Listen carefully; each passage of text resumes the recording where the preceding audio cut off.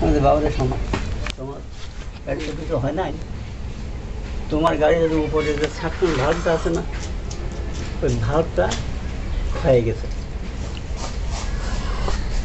আর সিটটা ওই জায়গা জায়গা ট্যাপ হয়ে গেছে। ওটা ধরা পড়ে না। হ্যাঁ।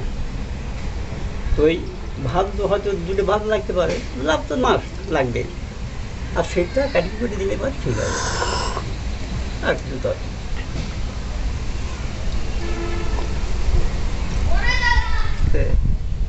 তাহলে আমার ওই ছেলে আমার বাড়ির কাছে এক ছেলে আছে কুমোর গাড়া নাকি যাবর কম না? টুকটাক কাজ ওইটি করে ওই সবটা একটু হাবি যাবি ওখানে যদি আমি নেই তারপরে যাওয়া লাগবে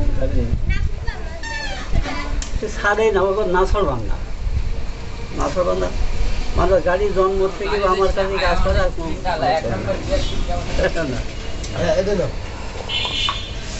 আজ একটা ইঞ্জিন মাটি দিল্লি করে দশ বারো বছর চলার ইঞ্জিনে কিছু দশ বারো বছর আমি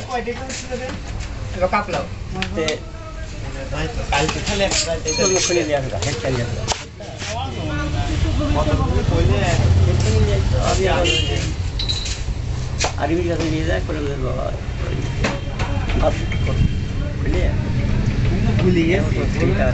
দেখলে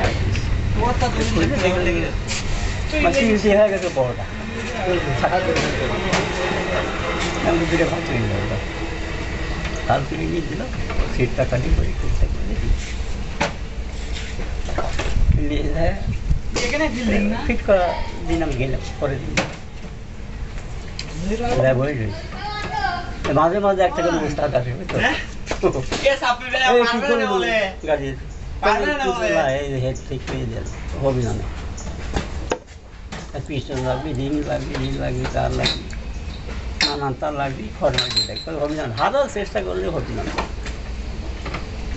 রিক্সা দিয়ে তুই চলে যায় চলে যায় আসছে না কেউ। হ্যাঁ। তো ভাব ধুই দিয়ে বসে দিলাম ও দেড়টা লাগা দেয় দাদা গেল এরকম চলতেছে। মানে সাত বছর চলেছে তো আবার সাত বছর চালাও গা। তারপর আবার আসে আমার কাছে। তাহলে কি হইল এখানে এই যে কাজ আমি যে খুলবো যখন হচ্ছে আহ, দেখতেছি। কাজ তা তিনশো টাকা দিয়ে হয়ে গেল। ঠিক আছে।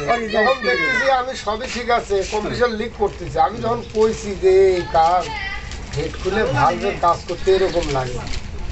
এখানেও হবে, নাহলে পাবনা নিয়ে যাওয়া লাগবে। ও তখন একটু আমার মানে মনক্ষুণ্ণ হয়ে গেল। তখন দেখলাম যে তাহলে আমি যতই কই, আমার কথা বুঝবি না ওই তখন আমি বললাম যে, যান। আমি বুঝতেছি না আসলে। যে ভাল্ব সাকশন যখন এরকম লিক করে, তখন কি কি হয়? কীরকম সিমটম হয়? মোবিলও খায় না, তেলও বেশি খায় না, তেল স্বাভাবিক একটু বেশি খেতে পারে। তো চলে স্টার্টের সময় সময় হালো করে, আবার রেস বন্ধ হয়ে যায়। হ্যাঁ এরকম সমস্যা হয়। কিন্তু ওরও হয়েছে। তারপরে ও আমি যেটা করছি, ওটা মাইনে নেয় নাই।